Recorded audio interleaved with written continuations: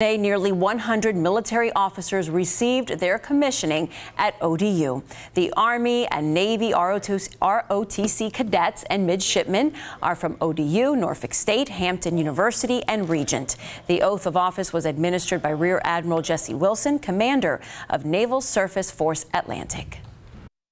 Winning the Super Bowl and winning championships is important uh, and it's special but I tell you what, today, these are the real first round draft picks, the people that are going to go out and win our nation's wars.